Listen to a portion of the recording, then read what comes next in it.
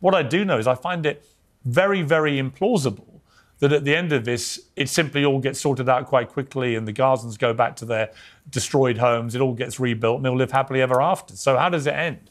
Right. I mean, well, no construction material has been allowed in for quite some time, so there is no rebuilding effort that's possible, especially when you've decimated the entire strip, demolished every aspect of civilian life, surgically striking doctors alongside their entire families, killing over 100 journalists, many in targeted assassinations alongside their entire families. I mean, really the best and brightest in Palestinian society in Gaza has been destroyed. IDF soldiers posting on TikTok that they're just blowing up mosques because they're bored, looting and pillaging women's lingerie. I mean, it really is depraved levels of sadism going on here. How does it end? A negotiated settlement immediately.